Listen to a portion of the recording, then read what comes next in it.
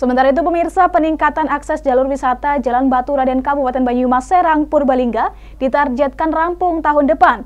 Hal itu disampaikan oleh Subkoordinator Perencanaan Jalan Dinas Pekerjaan Umum Kabupaten Banyumas. Peningkatan akses jalur wisata Jalan Batu Raden Kabupaten Banyumas Serang Purbalingga ditargetkan rampung tahun depan. Hal itu disampaikan oleh Subkoordinator Perencanaan Jalan Dinas Pekerjaan Umum Kabupaten Banyumas.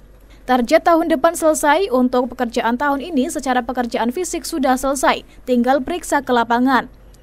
Setelah pembangunan selesai, tinggal fokus pada pemenuhan sarana dan prasarana rambu jalan. Perlu rambu-rambu jalan akan jadi kewenangan dari Dinas Perhubungan Kabupaten Banyumas.